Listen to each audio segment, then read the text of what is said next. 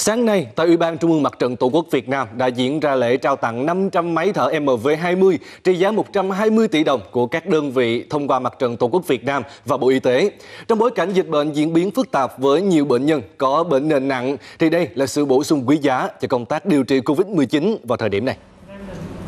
500 chiếc máy thở được trao ngày hôm nay là 500 chiếc đầu tiên nằm trong dự án sản xuất 2.000 chiếc máy thở Elysia MV20 bởi công ty Metran Nhật Bản sau 5 tháng triển khai. Kinh phí của dự án được tài trợ từ Hiệp hội Doanh nghiệp quận nhất thành phố Hồ Chí Minh, Đại học Văn Lang và tập đoàn Vạn Thịnh Phát. Máy thở MV20 hiện là sản phẩm mới nhất được thiết kế phù hợp với đặc trưng y tế của Việt Nam, không chỉ đáp ứng nhu cầu điều trị các bệnh nhân COVID-19 nguy kịch phải thở máy xâm nhập mà còn áp dụng cho các bệnh nhân suy hô hấp và các chữa trị bệnh hô hấp khác. Bên cạnh việc trao máy thở, các đơn vị còn tổ chức các đội phản ứng nhanh hô hấp, sẵn sàng di chuyển máy thở đến các khu vực, chuyển giao, hướng dẫn sử dụng và huấn luyện trực tuyến cho các bác sĩ tại vùng dịch.